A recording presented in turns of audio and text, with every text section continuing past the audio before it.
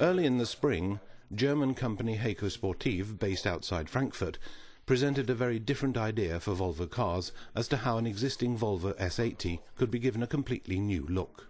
First of all, it was very positive.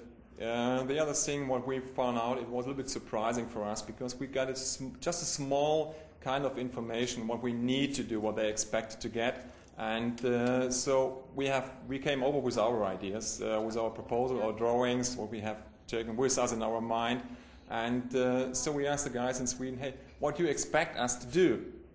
Um, and they said, hey, you are the professionals, and we are looking forward to see what you have um, taken with you.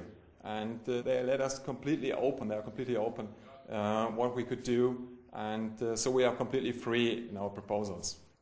The goal was to create something daring and sporty, at the same time as wanting to display a car with a really powerful engine that also radiates a genuine feeling of luxury.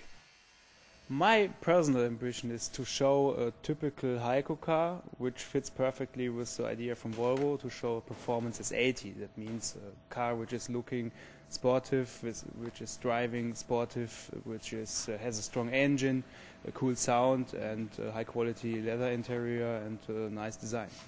We, we a lot. So we, in general, without the, uh, the, uh, the Volvo badge, we change everything. So that means to make the car more sporty, first of all, it's a question of design.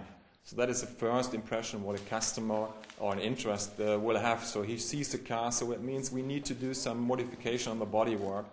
And Volvo Cars really loved Heico's plans, which suddenly meant that what had previously just been a wild idea was to become a real show car at the SEMA show in Las Vegas.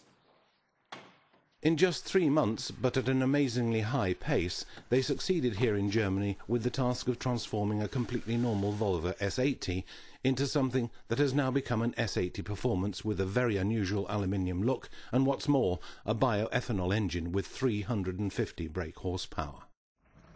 Around four months ago we started doing the first schedules and now you see the final movements on the car. It's just 48 hours uh, until we do the photo shoot. It's very amazing what has been done the last uh, four months. For Volvo cars, this has been a really exciting way of developing an existing model into something completely new.